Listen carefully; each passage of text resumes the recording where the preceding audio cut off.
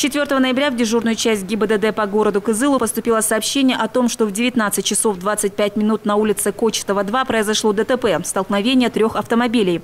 22-летний водитель автомашины ВАЗ-21103 нарушил правила дорожного движения и допустил столкновение с автомашинами Toyota Премио за рулем которого находился 29-летний мужчина, и Toyota Vista под управлением 24-летнего мужчины. В результате ДТП водителю машины ВАЗ-21103 оказана разовая медицинская помощь.